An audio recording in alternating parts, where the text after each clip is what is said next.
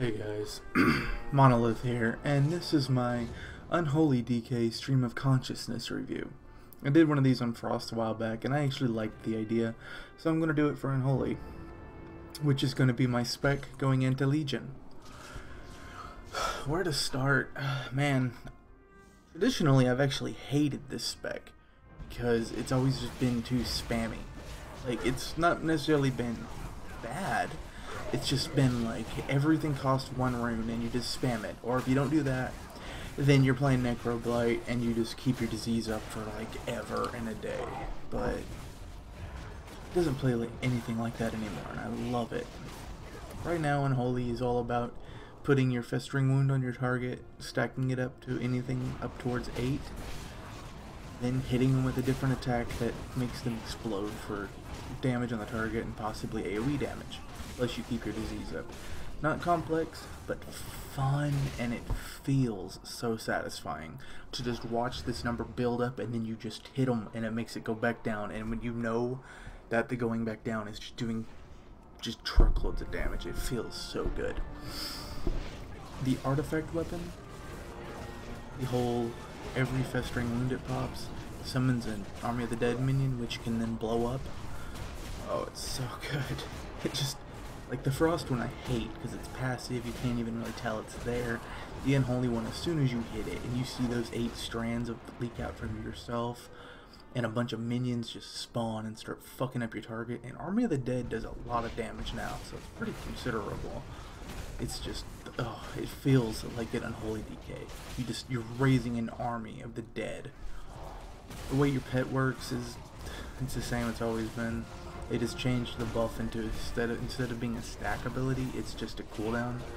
It's cool. I like it. There's a weird bug where it's a little too big, but I actually like that. Cooldown wise, you know what? No, let's just jump to weaknesses. Unholy used to have one severe weakness compared to Frost in most DPS specs. No burst at all. Unholy was all about put your disease on, keep your disease on, and that was it really all you did. Unholy now, you do that with your disease, but you've also got the Festering Wound thing, plus you've got your pet cooldown, plus you've got your Army of the Dead doing actual damage, plus you've got your actual Army of the Dead, plus you've got your Gargoyle or Dark Arbiter. Holy shit. Unholy is one of the burstiest classes in the game now. It's so much fun. It just feels great to play. I can't. I just can't get over it. The talent tree is varied. It changes your rotation if you by just picking different talents. It lets you optimize for certain situations. It's just great. You've got things like infected cleaver, which makes it where your pet's attacks can apply festering wounds, which gives you more chances to pop them. So you can focus more on scourging and doing that extra damage than instead of doing festering strike and doing just building up so you can do that damage Clawing Shadows, which makes you basically a ranged DK, which is, oh, it's so cool. And in PvP is so much fun, just to kill people from 30 yards away. They just don't know what's going on.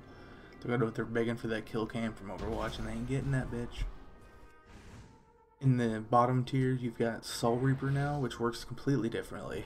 It's now a 45 second cooldown, and it's active for 5 seconds, and in that 5 seconds, you, up to 3 um, festering wounds you pop, you gain a 21 up to 21% haste buff for 15 seconds, which is huge. That's that's half a bloodlust. It's oh, it's so good. Or you've got Dark Arbiter, which turns your gargoyle cooldown into a Valkyrie, which uh, increases in damage and duration for every 15, I think it is, runic power you spend while it's active, and it does a lot of damage. File works the way it's always worked, except now it gives you stacking mastery buff. It's Defile's really good if there's like 10 things to hit, but there never is. So right now nobody's taking taken Defile. Other than that, it's, it's I mean, it's still neat. Other than that, we've got things like uh, All Will Serve. It gives you a second pet, and your second pet is a ranged pet. That is so cool. It actually does a lot of damage. And there's just so much. We've got things like Bursting Sores, which increases the damage of your Festering Wound explosions and makes them AoE so they hit everything around the target. You can stack that on top of the new way Death and Decay works, where if you're standing in your Death and Decay and you Scourge Strike, your Scourge Strike hits everything in front of you. Makes it 180 degree cleave. Holy crap. If the AoE potential is incredible. Ebon Fever, also in that talent, makes your, your disease just tick twice as fast. It's not fancy, but it's easy to manage, simple for people to understand, and it does a ass load of damage. Epidemic. Oh my god. The AoE potential here on this talent is just absurd. Epidemic, anything you have your disease on, when you pop this ability, which is like an 8 second recharge on a 3 charge uh, timer, anything you hit, or anything you have a disease on, when you pop Epidemic, just get just, just explodes. It just blow boom, hits them and everything around them. If you've got a pile of like 20 mobs have epidemic, it just hits like a freight train.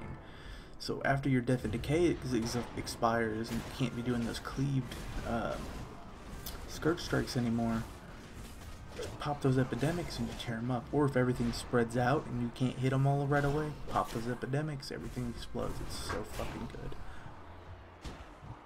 What else do we got? We got Castigator, my favorite talent in the entire tier, I think, just because it makes the rotation so fucking fun and crazy. If you crit with Festering Strike, you can add up to two extra stacks. If you crit with Scourge Strike, you can proc up to two extra wounds. It makes it where the rotation changes on a pull by pull hell on a cast by cast basis, which keeps things fresh but not in a way that's complicated. In a way that's just interesting, and it gives you something to keep your eye on all the time. It's very, very fun.